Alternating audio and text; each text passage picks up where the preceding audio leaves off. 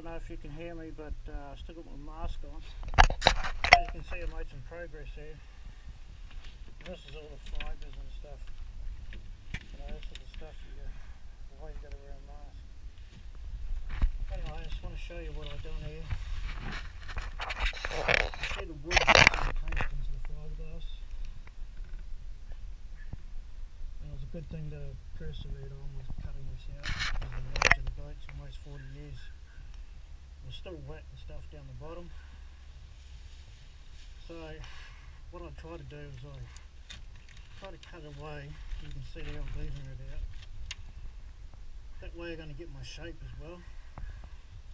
Not sure how, how I'm going to sand and grind this boat.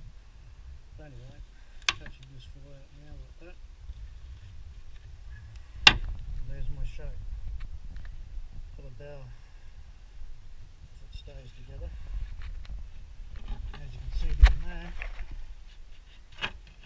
how deep the runner is, or stringer is. And I've heard all sorts of stories about how they put them back together. Depends what you read and who you listen to and what you trust. So that's it for that. Down here I've still got more wood to chip out. I might be able to come back this way and get some of it.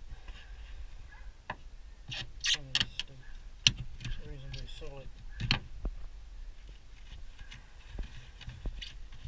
Anyway, won't bore you with the, uh,